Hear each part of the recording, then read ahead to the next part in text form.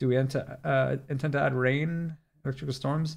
Uh, we did prototype certain weather things before. I don't know if we're gonna add it again. If if so, it's not gonna be anytime soon.